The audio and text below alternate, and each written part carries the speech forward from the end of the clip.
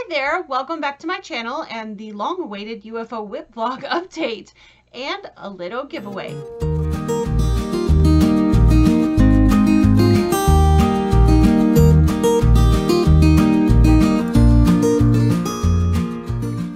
Thank you so much for being here today, friends. Well, um, I know it's been a while since I've done a UFO WIP vlog update. Um, a lot of things happened, were going on. I was lost my sojo a bit after my last retreat, not because of the retreat, just lots of other things going on. Um, and it took a flu bug to get it back. I had the flu and I couldn't sew for several days and I felt horrible and I really wanted, all I wanted to do was sew. And so that made me get back into the mode of sewing. So don't recommend getting the flu to get your sojo back, but in my case, it did help me. Um, if you do lose your sojo, I would say maybe take a break from sewing for a while, take a vacation. I don't mean necessarily go somewhere because I know a lot of you can't go anywhere, but do something else, garden, cross stitch, bake, do something else for a little while. Um, and then eventually, if you are a true sewist or quilter like I am, it'll come back to you. You'll want to do it. For me, it only lasted a couple days um, where I didn't want to sew. Well, actually, it lasted quite a while where I didn't want to sew a whole lot. Um, and but those few days where I couldn't sew, uh, that really got me in the mode to sew again. So, like I said, I don't rec- recommend getting the flu, but, but do something else to find your your way back. So, you just need to kind of take a break and distract yourself. If you find yourself in your sewing room and you're sitting and just staring at stuff and not getting anything done, you've probably lost your sojo and it's time to take a break. All right, that being said, um, I know during the um, Sew Yeah retreat wrap video, I said I was going to give away their box that they had given me. And I never put that video up and I completely forgotten to put it up um, just because of everything going on. I had a lot in a space of a month. And then, like I said, I kind of lost my sojo, so I didn't really want to be in my space for a while. So um, now that I'm back, I'm ready to do that. But thanks to all of you and to Sew Yeah, because I did an interview with Teancum, which I will link down below if you're interested in seeing it over on Sew Yeah's channel. Uh, I have now reached 15,000 subscribers. So all I can say is thank you so much. I really appreciate each and every one of you. And if you ever meet me in person, you'll know that I'm being real. And I honestly, really, truly appreciate that. So thank you so much for subscribing to my channel. If you're here and you haven't subscribed yet, I'd love to have you. Um, but I just love this community. I love the quilting community. You're all so supportive and I truly appreciate you being here. So thank you. So today I'm going to give away not only that box, but I'm also going to give away the two others because they gave me three to give away and I was just going to give one away at a time.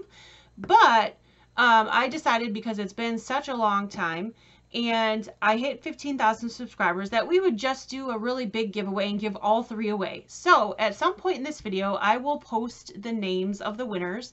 Those winners need to contact me at stephanies.stitches at yahoo.com and I will put my email down in the description box below and send me your name and your full address and I'll get those out to you ASAP. I'm so excited to get those to you because their boxes are great and I really hope you enjoy it. And thank you so much to Sew Yeah for doing that and Teancum. He's the one who um, sent those along with me. So, um, like I said, at some point in this video, I will post the names probably at the very end. Um, so look for those names and see if you're a winner and then get in touch with me. Um, so for UFO update, so let's get to that. So the quilt behind me um, I've been working on with Sean, the guy who sews. He and I are making the same quilt. I still need to put borders on it, and we're going to do our final reveal of our quilt being done right here on my channel live on May 20th for Saturdays with Steph. So he'll be live with me at 5 p.m. So I hope you come over and take a peek at our quilt. So this is just kind of a sneak peek on the wall behind me. Like I said, it's not completely done. The blocks are done. I need to put my borders on and of course quilt it and bind it. Um, so that's getting on its way, which I'm really excited about. Um, I don't have anything else to show you guys as far as some of the things I was working on, like the puzzle mystery quilts and the socialites, because I haven't really made any progress on those, to be honest with you. Because like I said, I lost my sojo for a while. I am excited to get back though, and hopefully I'll have some more progress on those next week to show you guys. I was doing a really good job of keeping up with the socialites. I was really proud of myself, and then I lost it and I kind of got behind. So now I'm going to catch up because I'm ready to sew again. But the one thing I do have to show you guys is I had been showing you, if you remember, the Joyful uh, quilt pattern by Coriander Quilts. Uh, I had showed you guys some of my blocks that I made for that, but I finished the quilt top except for borders. I have to put borders on it. But in the last couple days, I worked really hard and I got the quilt top done because I've been really wanting to finish this for quite a while. I love the fabric line that I picked. It was Sunwash by Corey Yoder, which is not the what she wrote the pattern for. She actually wrote the pattern for Buttercup and Slate. But I didn't love it in those colors. It looked a little bit too washed out to me, although I do love that fabric. So I chose this fabric instead, and I love how it came out. So I'm going to show you that now. So these, I've shown you some of these blocks, but I finished all of them now, and I've got it together. I'm not tall enough to show it all at once, but hopefully you guys can see all that, but I got it together in a quilt top. Once I get it all done, my border's on um, and quilted, I'll bring it back and hang it on the wall behind me so you guys can see it. But I'm super really happy with this. It's gorgeous. I love the way it turned out. I can't wait to get the borders on and get it quilted. Here's kind of the bottom.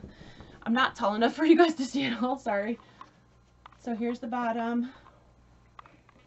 So I'm happy to say that I made progress on something. and this is, it's so pretty. I can't wait to get this done and start using it. So I got that done. Um, I've done a lot of things that I can't show you guys because they're for other companies. So I have sewn some things. I just haven't sewn a lot of personal things. Haven't been motivated to. Sometimes if you do things for work, it becomes not fun anymore. Um, and that happens, and that was probably part of what led to my losing my Sojo, but um, but that's okay. I've got it back now, and I'm really excited to get going and sewing again because I did miss it. All right, so those are the only things I've been working on that I could show you. Uh, the one other thing I wanted to talk about is my friend Shannon Way over at SleighArts. She's got a new channel right here on YouTube. She's a great lady. She does a lot of paper piecing. She's doing a Legit Kits block of the month sew along. If you have not heard of Legit Kits, which you probably have because they're kind of everywhere right now, they can be a little bit intimidating. Um, but Legit Kits decided to do a block of the month to make it a little easier, which I think is really cool because I do have a couple Legit Kits. When you get them, they're this huge packet. you get about that big of a stack of fabric and the pattern itself is about that thick. So the block of the month for anybody who is new to legit kits or new to paper piecing um, will make it really easy for you to understand how the quilt kits go together um, by breaking it up a little piece at a time. So you don't get intimidated by this huge quilt kit because they're going to send us, I believe it's four blocks a month. So I'm really excited for that to start. I just got my shipping notification and it's supposed to be here Friday. So I'll do a quick little video when it comes and show you um, what it looks like. But Shannon's going to be sewing that on her channel on Sunday. But the other thing that Shannon's going to be doing, and I will link her channel down below for you guys because she's great. You need to check her out if you haven't already. The other thing that Shannon and I are going to be doing is we're going to be doing a two color quilt sew along. So colors means something different to everybody. So to me, two colors means I'm going to take yardage of two different colors and I'll show you my colors. Of course, you guys know I love blue. So I'm doing blue and I'm doing cream. So those are my two colors. I'm going to use that for my entire quilt. Now, two colors to you could mean something different. So if you're somebody who, for, for instance, likes red and you've been saving lots of red fat quarters and they're not all the same fabric, but they're all red. And you've got all those reds and you've got say a white or a gray that you want to pair with it. Take all those reds and your white or your gray or whatever you want to pair with it. Black would look good with red and make your two color quilt. That's perfectly fine. We're not saying you can only use two fabrics. That's what I'm choosing to do. I actually think Shannon is using green and I think she might be using several different fabrics of green as well. And then I can't remember what her second color is going to be. I think she was debating between gray or white. So whatever her second color ends up being, um, but her greens, I think, are all going to be different fabrics. So we're not saying you can't use different fabrics. just pick two main colors. We're not going to put like a blue and a cream and I'm not going to throw in a purple or a red or a yellow. We're just going to, I'm just going to use blue and cream and she's going to do greens and whatever her choice is. So we'd love to have you join us for that. That begins, the sew along begins May 16th. We're going to be live on her channel. We're going to go back and forth every month. One month we're going to sew it on her channel. One month we're going to sew it on my channel. And all the information that you need will be in my blog, Stephanie Scoop, right, or Steph Scoop on my um, website, stephanies-stitches.com. And I will put all this information down in the description box below this video if you would like to join us. The patterns for this month um, are up there on my blog right now. There's two blocks this month. We're going to have two blocks every month for six months. So we're going to have a total of 12 blocks. Now the way this works, if you didn't see our announcement video, which it's right here on my channel if you want to find the announcement video, is the first Tuesday of every month. We're going to have show you guys six blocks and we're going to put up a poll and have you guys pick which two blocks that you want us to sew. And then a week later, I'm going to put up the patterns on my blog. You can grab your patterns, get your fabrics together, get everything cut, and then the third Tuesday of every month, we're going to sew this together. So I'm really excited about this sew along. I hope you will join us. If you do join us, we would love it if you would send us a picture of your finished blocks at my email, which I will put in the blog down or the description box down below as well.